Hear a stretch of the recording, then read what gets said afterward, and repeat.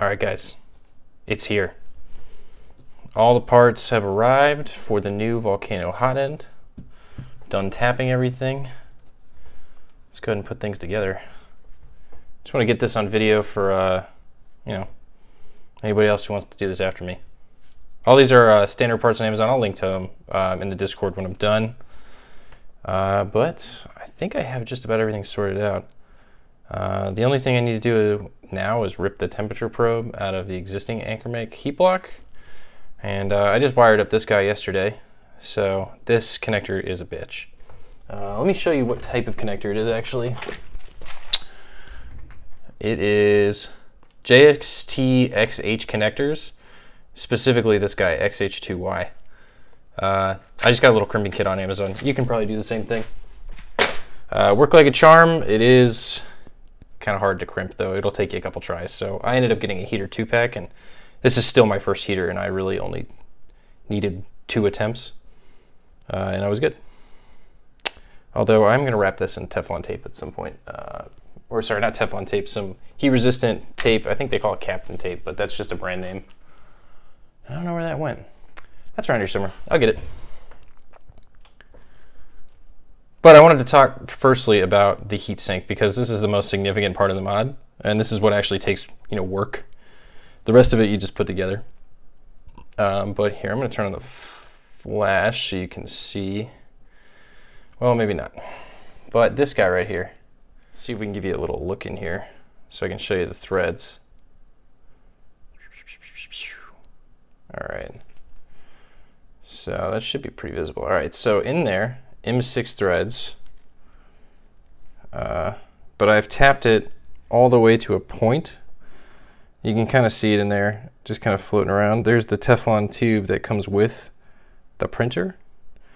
And it's just because this guy right here isn't quite long enough, if you can see that, to hack it up all the way. So, I, you know, you need to make the difference in something. I wasn't going to have open air. So I ended up just uh, basically pushing the Teflon tube that came in here as far out as it would go, and then screwing this all the way in and snipping off the excess.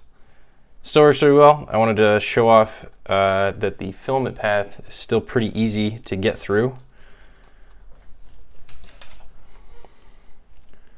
Let's go back so you can see right there. The PTFE tube right here really kind of helps line everything up. Boop. Super smooth. I can feel a little bit of a uh, like a little bit of ridges in there, but I think those are just machine marks. I don't think that's anything that uh, will interfere with the filament path. It's not getting any stiffer the more I move filament through it.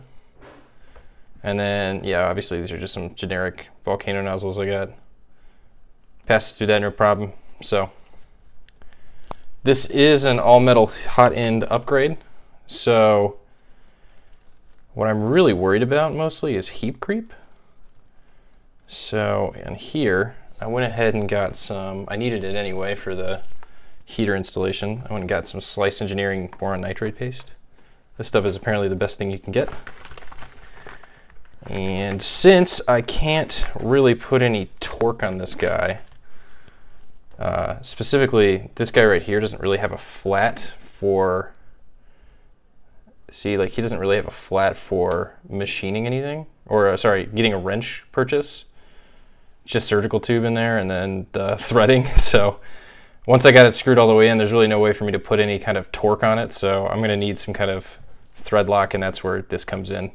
This is actually recommended use from Slice itself if you can't get the torque on there. Uh, specifically for their products, but I think it works out fine here. So I'm just gonna go ahead and move these off to the side here. Uh, I don't think I'll need too much. I'm just going to be kind of doing this free form in real time. So, uh, you know, if that doesn't interest you, sucks. You can skip ahead, I guess.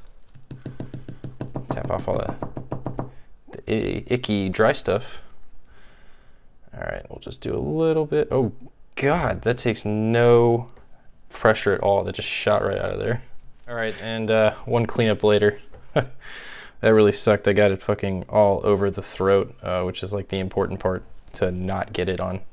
So I'm went back and watched the slice engineering video and uh, this is the way you're supposed to do it uh, because that happens if you don't do it that way. Just going to give it a little generous coating here.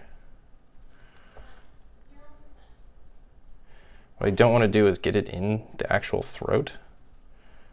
Um, but this should be just fine if I just give it a little bit of a little bit of application here. Think there's a little room for error here.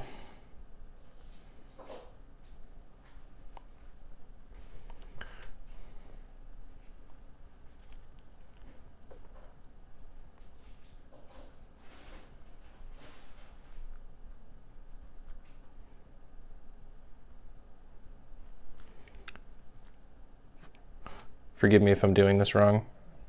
Just shooting from the hip here. I don't have a technique.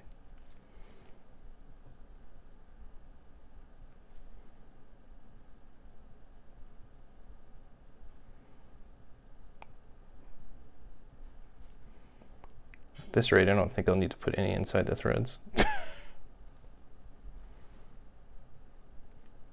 have the heat heat sink up there. I think I'll have it just about covered.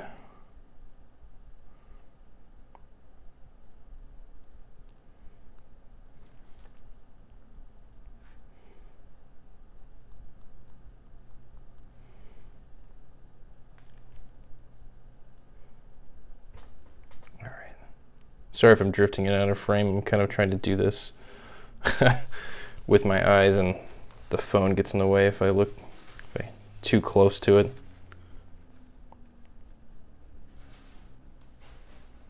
Alright.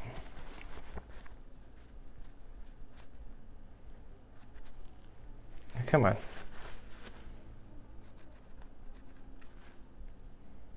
Alright, that looks alright to me. Let's just uh just give it a couple turns here.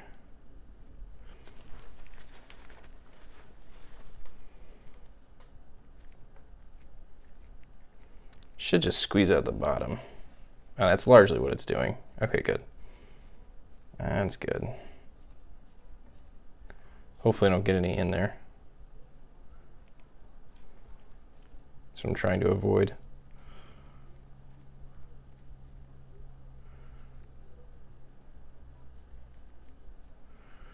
That was probably way too much. All right, I'll go ahead and give this thing a clean up. I don't think there's any in there. We'll do the little, we'll do the filament piece test. Uh, where did I put the damn thing? There it is. Let's see if I get any on here. Uh, no, we look all right. Look good. It should dry nice. I'm just trying to gonna get rid of some of this stuff around the heat break. I'll be right back. Okay, I'm back. Uh, that sucked to clean. Uh, the best thing I found was to let it dry and then hit it with a wire brush a bunch of times because this titanium, all this stuff's harder than brass except for the aluminum, and I don't really give a shit if it's scratched up a little. But uh, you know, I think I did. I think I did all right, all things considered. There isn't really any boron nitride paste in there anymore, and that is pretty well locked in there.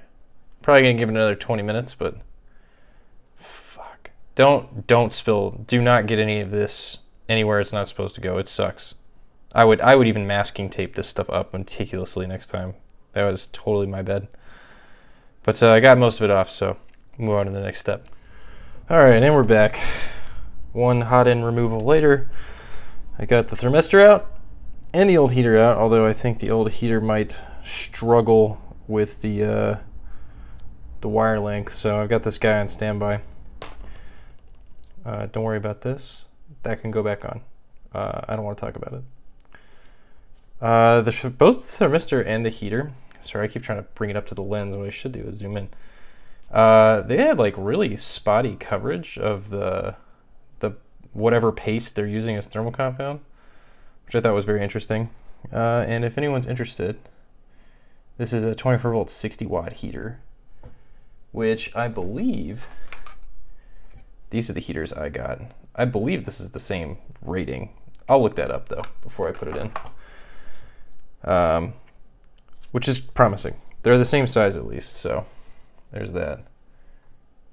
Boop. Should be good. They look like the same board too. And thermistor looks alright. Sounds good. Uh, I'm probably going to wrap this guy up in Kapton tape and uh, this guy too because they the clearances are so tight with this. I'll try to show you. Like when you're screwed all the way in, you're like like that. Um, so the wires have to kind of snake their way out of here. Uh, that's a bit it's a bit tight. So uh, I'm gonna go get tap, Kapton tape uh, and go get messy again. Put some boron nitride paste in this. And I guess we'll come back. I'll let you know what happens. And we're back again. Okay, so I did confirm that this will fit, although I couldn't find my Kapton tape. I don't know where the hell it is. Um, it's a tight fit though, so we'll see. uh, first off, let's just put the probes on in here. So this guy, let's just see. Oh yeah, I think he'll make it no problem. The heater is a little bit more important to get right, so let's just get that one in there.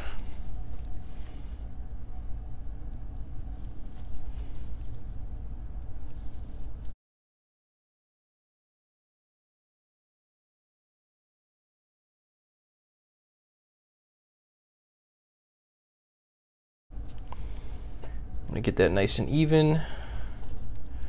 Put a little on this guy right here. Not too much. Don't need a whole lot, I don't think. Just enough to squish out any of the air gaps once we push them into fit.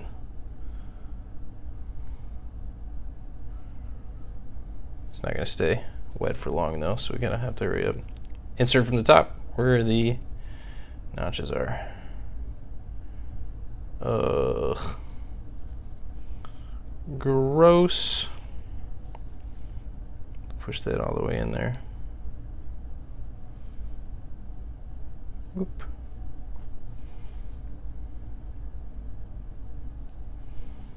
Just tighten that best I can, I guess.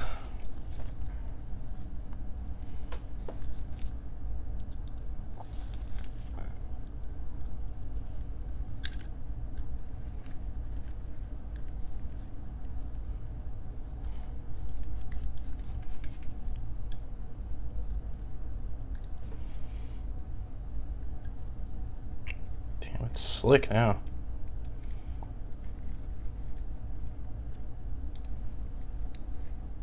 Okay, that's about right.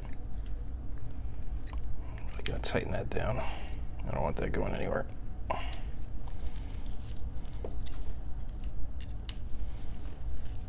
Not giving it too much torque, just a little bit.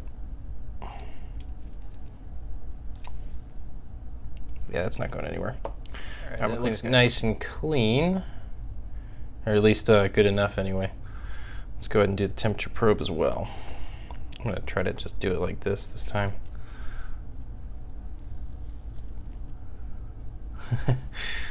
uh, this is just gonna be messy, no way around it. Oh, I can't even fit it in the, can't even fit it in there.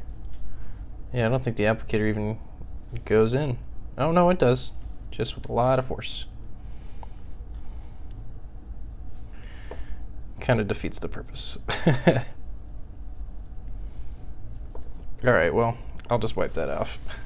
no, no, no. Don't go in there. Should have masked this out. I don't think I'll ever learn my lesson.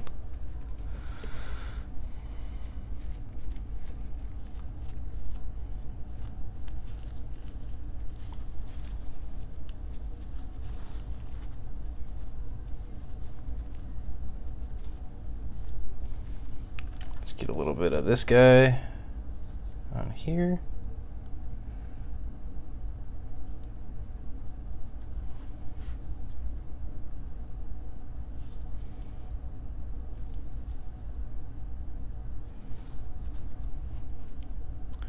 Scrape a lot more off this time. All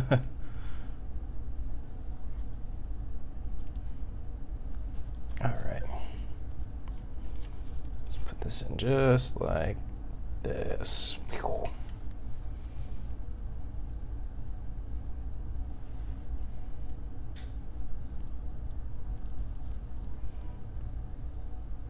Something like that.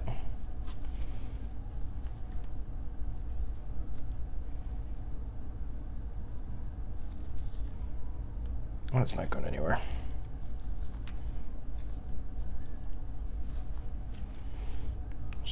Cap that up. Push a little bit more in there. There we go. Give that a little wipe.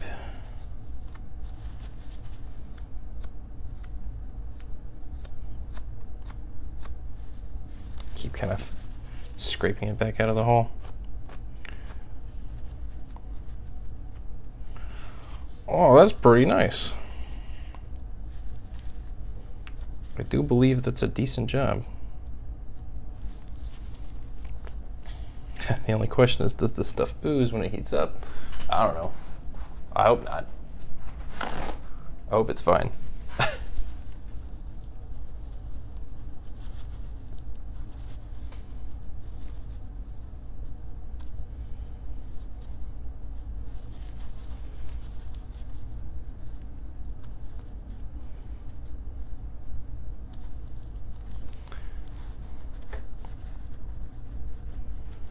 Eh, I don't mind that. What do you think?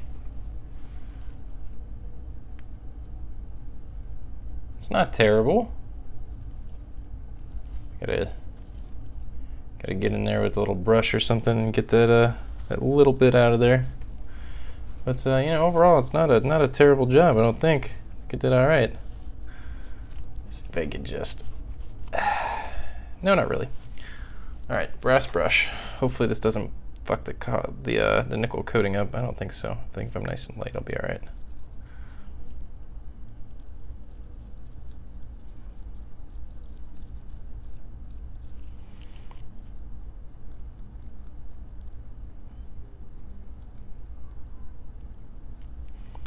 There we go.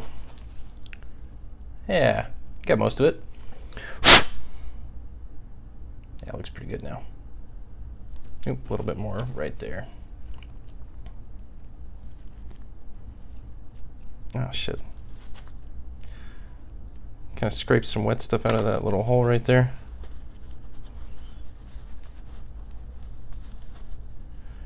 Yeah, there we go, we got it. Mission accomplished. We got him. Alright, so there's our heater block assembly. This I'm a little worried about. Um, I don't know, it is what it is. Not really much I can do about it at this point. I hope this uh, doesn't really throw off. Well, it, it won't really throw it off. They're so close together. All right, let me move on to the next step here. I'm gonna get rid of this because we don't need this anymore.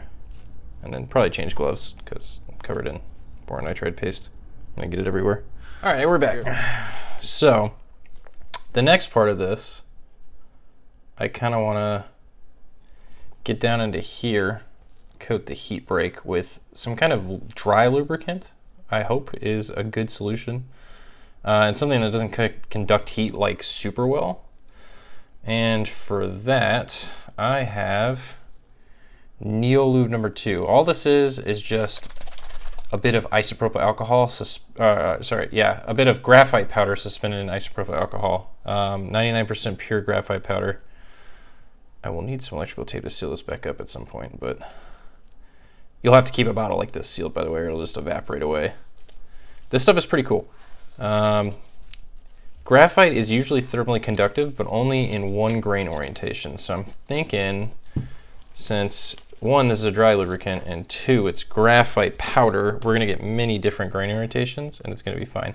You know what, I'm gonna do something I think a little smart. I'm gonna mask off everything that's not gonna get Neolube on it. Okay. I'll be right back. I finally learned my lesson.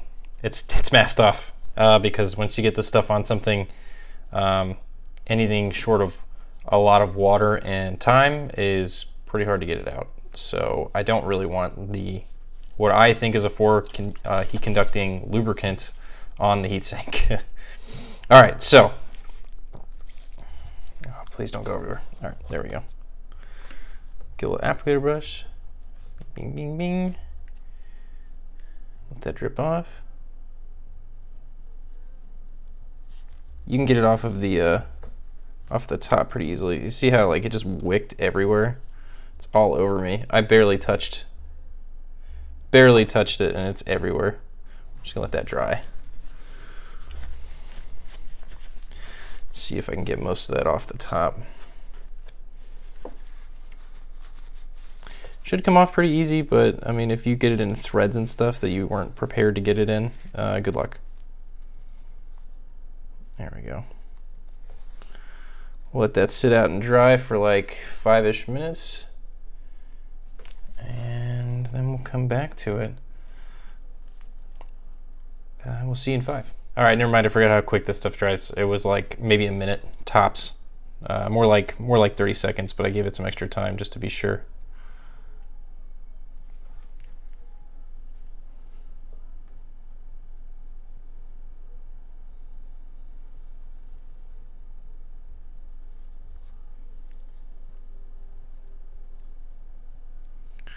Think two coats is going to do just fine. And there's no need to coat the inner hole on this guy. It'll just rub itself in to the grooves, which is the nice part about this kind of lubricant. I think I might have gotten into trouble anyway. Oh well. Once it's dry, the stuff doesn't come off well, but while it's still wet, you can kind of wipe it. Try to keep the contaminants out of the filament path here easier said than done, but try to do your best. The better the seating surface, the more seal you're going to get against uh, the nozzle, because the nozzle is going to sit right there. All right. I'm to go ahead and take this thing apart, uh, the masking, and then we'll attach it to the heat break, or the heat block. All right, let's get the heat break attached to this thing.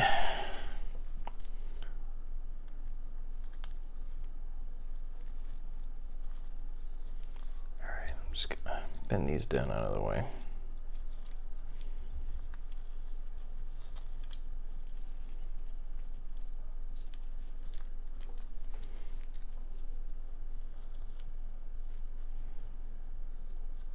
One more turn should do the trick.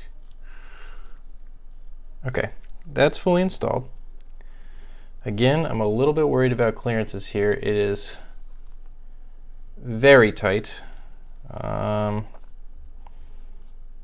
I worry about the insulation here. So I think I'm just going to do something maybe a little bit smooth brain, but I'm going to just back it off one turn. Leave some of them threads exposed right there, but um, it's really not a big deal because what we're to do is come clean that play up with our nozzle. Uh, this guy right here. And I'll lubricate this nozzle um, with some anti-seize when I finally go to put it on, but I just kind of want to do a test fit real quick. And really, I mean, there's really no problem with this thing seizing up, in my opinion. I mean, you saw how easily that went in. That's cold, no lubrication required. And I think I can get away with leaving those threads, though, uh, a little bit loose here because I do still have a gap to make sure that I'm positively engaged on the seal. Take my little seven wrench here. Let's go nice and straight. And not quite straight.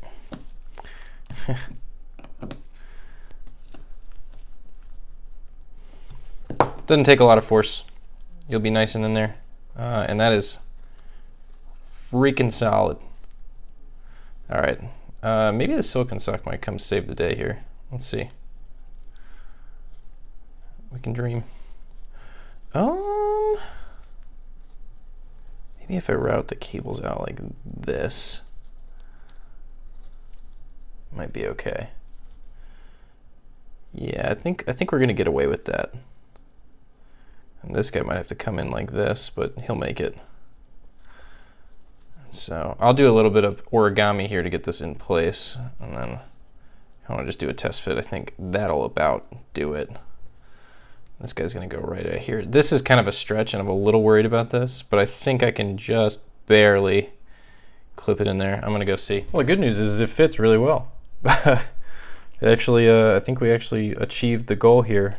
Now the last thing I'm gonna do is take my nozzle, put some uh, high temp anti-seize on there. This is a bit of a just, uh, I forget exactly what it is. Um, here's the lubricant if you wanna look up the technical data sheet, but I think it's a little bit of aluminum powder, a little bit of graphite, like much less than what's in Neolube. Uh, and then, sorry, I'm just gonna get rid of some of this. That smells horrible. Oh my God. Uh, and then uh, some kind of oxide, I can't remember what. You don't really need much, uh, from what I'm told. I've clearly proven to everybody at this point that I don't think I know uh, how much I'm supposed to do. Wow, I need to open a window. That stuff is horrible smelling. Good lord. hold that thought for a second. Oh my god.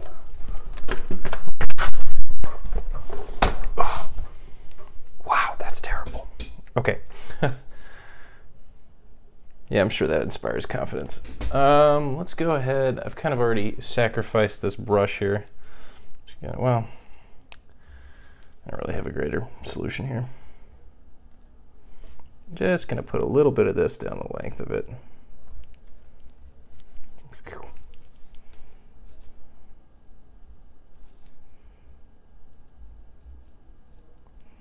This is not uh, this is not really a thread lock, by the way. This is an anti-seize lubricant. So this should just come right out when it's time. I looked all over online for the ingredients that are in this thing from the data sheet, and um, I can't find any negative reactions. So I think we're good, at least with brass and aluminum. And I looked pretty much with all of the, the metals that would be in contact here. I can't find anything online about a negative reaction with this kind of thing, especially, uh, I looked especially for at high temperatures. Couldn't find anything, nothing at all.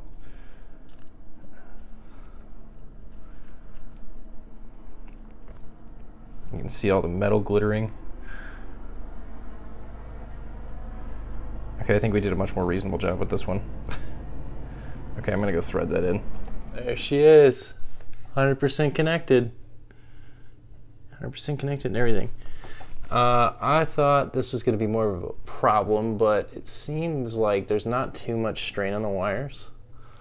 So I think we're gonna make. I think we're gonna get away with it.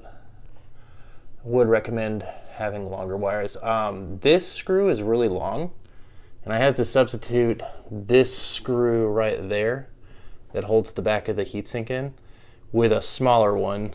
Uh, so instead of using this size screw, I just use one of these, and then whatever. You can find another one of those. Not a big deal. It's not like a intend on and fully securing the shroud. It doesn't need all four screws in the back.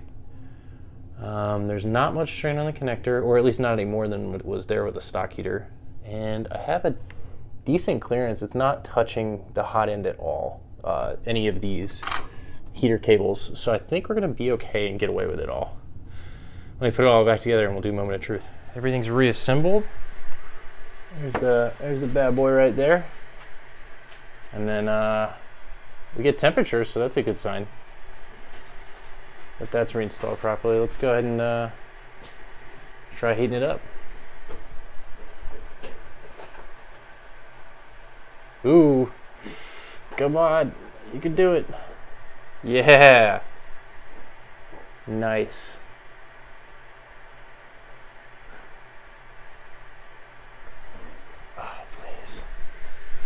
Heating up pretty good.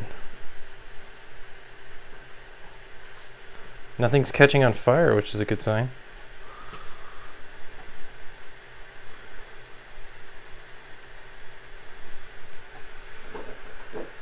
Yeah. Nice air movement.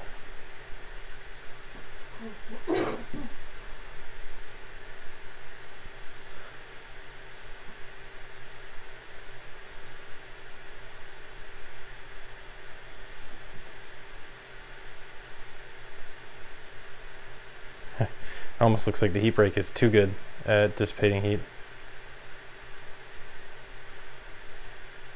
This, uh, oh, I looked up the heater cartridge. It's 64 watts at 24 volts, so very comparable. I don't think it's going to be an issue at all. In fact, it's a little bit, uh, it's a little bit better.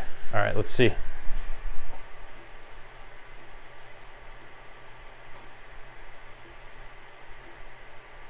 Hot damn. Look at that, boys. Wow, that is a thick strand.